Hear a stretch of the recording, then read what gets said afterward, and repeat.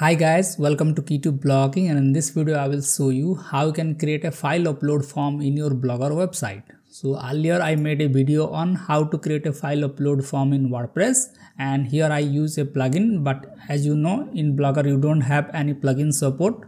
So for this you need to use some codings to create the file upload form. So let me just show you how you can do that so before that let's submit a form here. So let me just choose the name email address here. So let me just change the email address a little bit. Now let me just choose a file from here. So i will choose this text file or you can select image or any other document file like pdf so let me just select the text file here and i can add a custom message like this is a txt file and let me just submit the form. Now it will ask you to fill the reCAPTCHA. So let's click on here.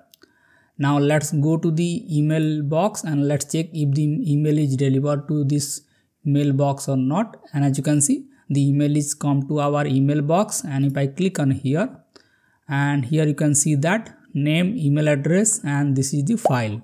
So this is how the file upload form work in blogger so to add the file upload form, you need to go to Blogger dashboard and here under the page section, you can create the new page or you can open any existing page. So here I can simply name it like contact form like this and I will paste a coding like this.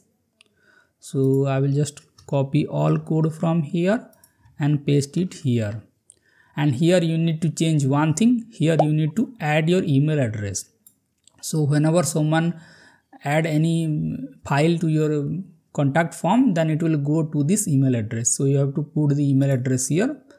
So let me just add my email address here. Now here you need to update this page and after that you need to send a test message. And after that it will ask you to verify your email address and send you a message like this. Action required. Activate the form. Once you click on the activate form the form will be activated and any visitors that coming to your page will be able to send you file through that contact form.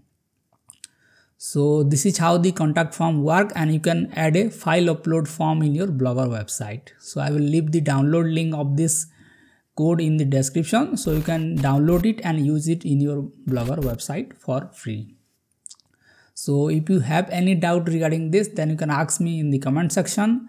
And if you found this video helpful then make sure to hit the like button. Do subscribe our channel for more upcoming videos like this. I will see you in the next video. Thank you